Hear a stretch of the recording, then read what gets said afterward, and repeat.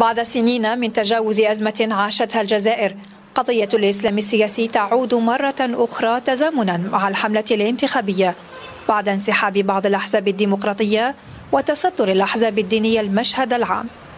وبينما تخوف البعض من فوز هذه الأخيرة بالأغلبية البرلمانية يرجح آخرون أن الأحزاب الدينية لم تعد بنفس التوجه وأنها لا يمكن أن تنحرف عن المبادئ العامة للدولة الجزائرية.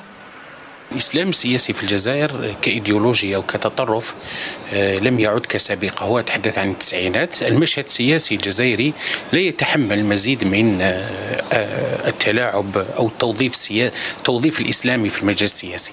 أعتقد أنه حقيقة أنه لا مجال لعودتهم من جديد ولكن إعطائهم الفرصة أو إعطائهم مناصب سياسية أو سيادية سامية سيؤدي إلى إمكانية إعادة إعادة توغلهم من جديد.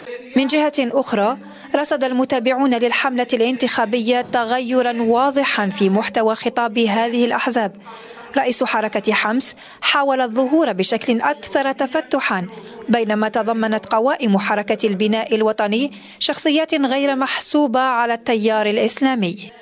أعتقد أنه سيكون هناك تضييق على الحريات في الجزائر حتى وإن كان مثلا بين قرينا الإخواني أيضا.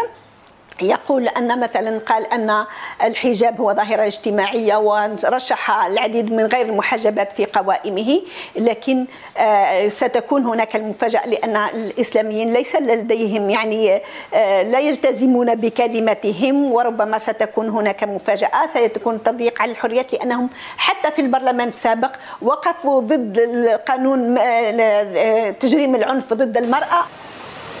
ورغم الجدل الحاصل يؤكد مراقبون أنه لا يمكن التكهن بهوية البرلمان القادم. فالكثير من المترشحين الأحرار لم تظهر بعد انتماءاتهم الإيديولوجية. ورغم التغير الواضح لخطابات الأحزاب الدينية بالجزائر ومحاولتها الظهور بشكل أكثر تفتحا وتقبلا لا يزال التيار العلماني يتخوف من سياساتها الإقصائية في حال فوزها بالأغلبية البرلمانية. من الجزائر سارة بانا اليوم.